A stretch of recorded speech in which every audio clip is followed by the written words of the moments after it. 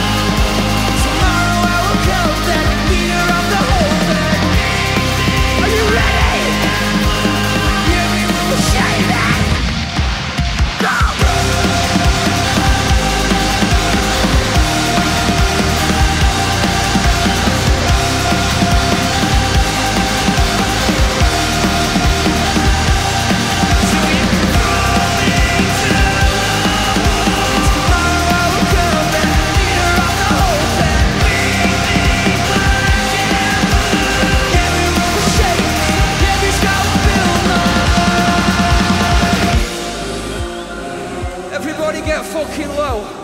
Let's get nice and low. This is fucking it.